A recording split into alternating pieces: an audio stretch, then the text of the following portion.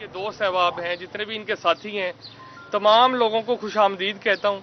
और मैं ये यकीन दिलाता हूँ कि हम लोग बिल्कुल ब्लैक मेलिंग की सियासत नहीं करेंगे।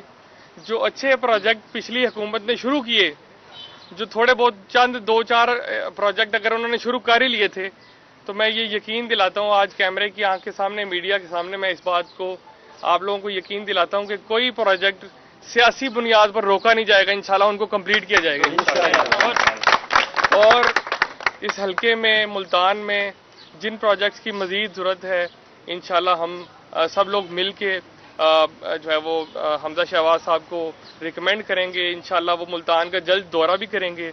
और मुल्तान के जल्द जो है ना वो मसाइल के लिए यहाँ तशरीफ़ भी लाएँगे हम उनके गोश गुजार करेंगे। मुझे पूरी उम्मीद है इंशाल्लाह जैसे शहबाज स्पीड साहब जो है वो, शहबाज शरीफ साहब, उनको शहबाज स्पीड साहब भी कहा जाता है। जैसे वो पहले चीफ मिनिस्टर थे पंजाब के, उन्होंने बहुत काम किया, मुल्तान के लिए बहुत काम किया, मेट्रो बनी रोड्स डेवलप किए, और भी बहुत सारे काम किए, हॉस्पिटल्स बनाए।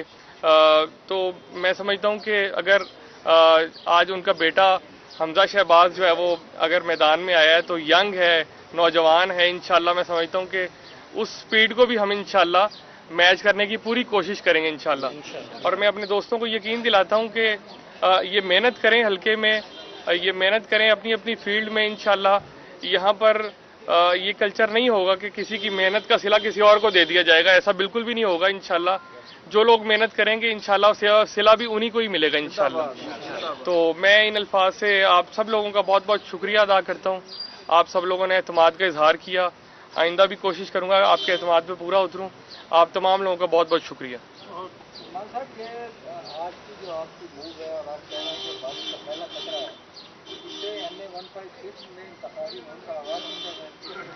जी बिल्कुल आ, हर सियासतदान की ये ख्वाहिश होती है कि मैं आ, अपने जो अपनी इस पोजीशन से और एलिवेट करूँ। तो ज़ाहिर है मेरी भी ख्वाहिश है कि भी मैं आ, अगला इलेक्शन एमएनए का लड़ूं लेकिन ये जो पार्टी टिकट्स के फैसले हैं ये ज़ाहिर पार्टी लीडरशिप नहीं करने होते हैं। तो मैं अपनी मेहनत करूँगा इंशाल्लाह जो आ, मुझे पूरी उम्मीद है कि मुझे मेहनत का सिला मिलेगा इंशाल्लाह।